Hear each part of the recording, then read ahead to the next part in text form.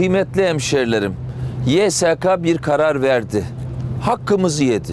Anamızın ak sütü gibi helal olan kazandığımız seçimi elimizden aldı. Bunları biliyoruz. Bunları biliyoruz. Ama hesaplaşmanın vakti değil. Süreç önümüze bakmanın 23 Haziran'a hazırlanmanın vakti.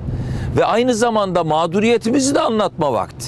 Vatandaşlarımızla beraber bütün İstanbul'un oylarına 16 milyon insanın oyuna talip olduğumuzu tekrar herkese anlatma vakti.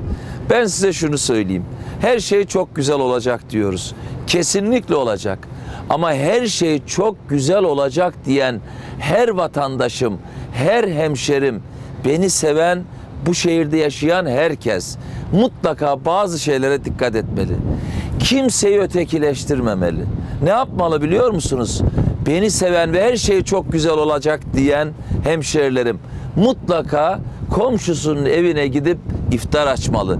Ramazanda hemşerilerini selamlamalı, süreci anlatmalı. Hatta iftara davet etmeli. Biz ne dedik? Herkesin oyuna talibiz dedik.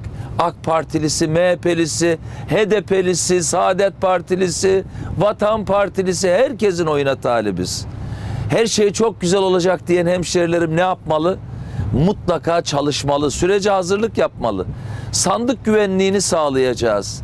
Evet Cumhuriyet Halk Partisi olarak güzel bir örgütlenme sağlayacağız.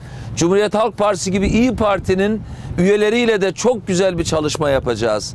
Ama biz aynı zamanda İstanbul İttifakı olarak tüm gönüllü vatandaşlarımla seçim gününe hazırlanacağız.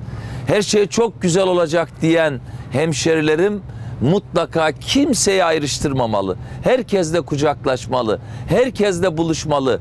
Konuşmalı. 23 Haziran'a hazırlanmalıyız. Her şey çok güzel olacak diyen hiçbir hemşerim sosyal medyada hiç kimseyi ayrıştıran dil kullanmayacak. Kucaklayacağız.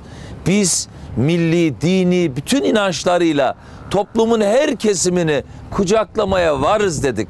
Bunu yaşatmaya devam edecek. Her şey çok güzel olacak diye vatandaşlarım. Ben seçilmiş bir belediye başkanı olarak İstanbul'un her yerini gezeceğim.